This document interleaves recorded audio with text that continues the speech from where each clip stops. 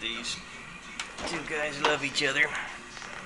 Jersey was just grooming his big sister Holstein.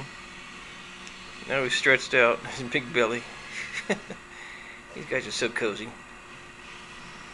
Hopefully during our long trip to Ohio in a couple days they'll be uh, hanging out together, calming each other down for the 10 hour road trip.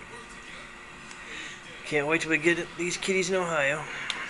Look how beautiful they are.